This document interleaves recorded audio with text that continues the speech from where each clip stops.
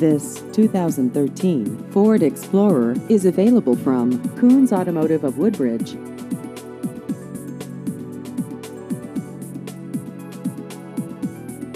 This vehicle has just over 38,000 miles.